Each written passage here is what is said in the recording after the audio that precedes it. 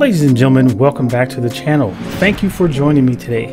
Today this is going to be a fairly quick video. Uh, it's going to be on the Black Hebrew Israelites. Well, they are kind of sort of a new religious cult. They were thought up or imagined or made up in the late 1890s and uh, I'll put a picture up of a couple of people who were involved in that. No one to note, of course, as all cult leaders should be uh, ignored as much as possible.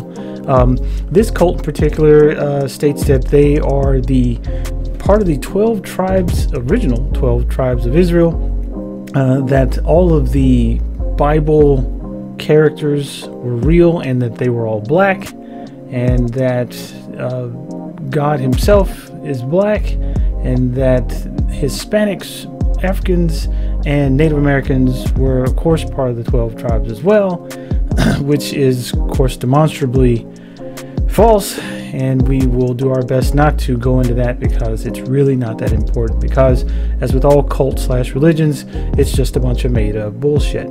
So, to skip on to, I guess, what you would call the important stuff is are they a cult? Yes, they are a cult. Uh, they dress like a cult. They act like a cult. They are extremely misogynistic, and they uh, indoctrinate uh, any and all of their members.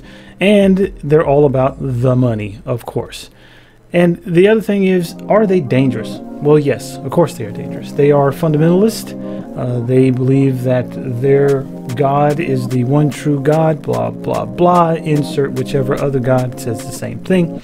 Uh, so, also, uh, they have been uh, noted by the Southern Poverty Law Group as being a hate group and equivalent to the KKK because of their disdain for European Americans. So, if you bump into these people, please make sure to either avoid them, make lots of fun of them, and or call them out for their bullshit. And uh, but I would still want you to be careful because they can be uh, not violent.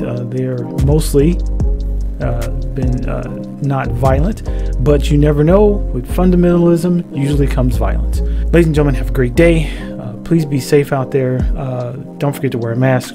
Wash your hands. Please take care of yourselves and your families. And by all means, don't forget to please be the best heathens that you can be.